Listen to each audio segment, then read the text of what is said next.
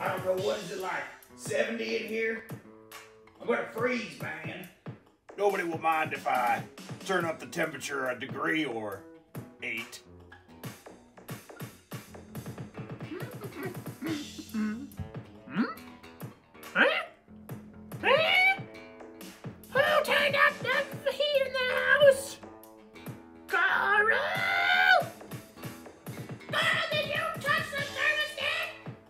thing, I promise.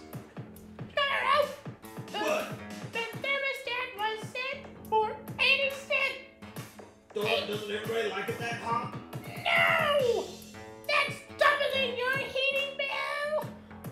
We can't afford 86 degrees. I hate you. Get out of my life.